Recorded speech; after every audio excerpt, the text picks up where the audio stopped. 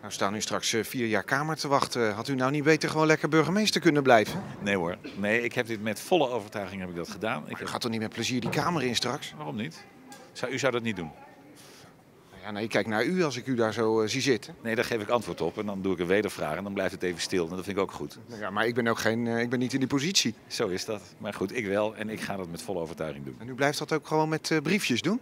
Met briefjes. In de Kamer zo, als u eh, bij die microfoon staat?